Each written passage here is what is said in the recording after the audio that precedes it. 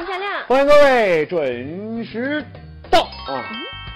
说这个动物界也有爱情，这当然。他们也相信爱情。这有一天呢，这个斑马兄弟啊，就追求这个熊猫妹。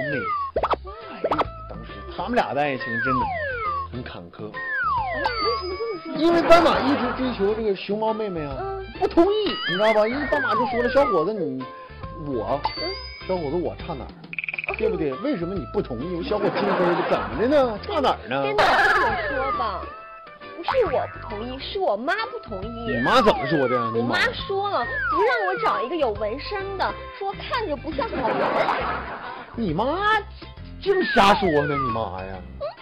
我跟你说，你你妈说的不对，你跟回去跟老太太说说，我还没嫌弃你有熊猫眼儿呢。大家好，我是大宝。那个大家伙儿发现没有，我身边有一美美女啊，自我介绍一下。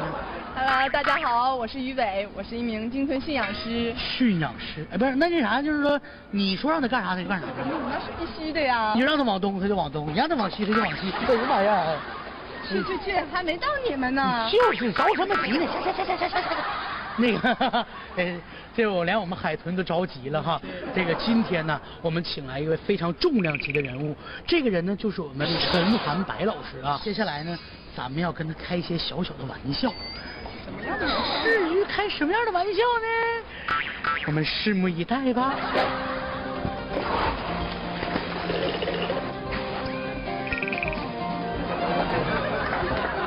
哎呀，没事没事没事，您慢点啊。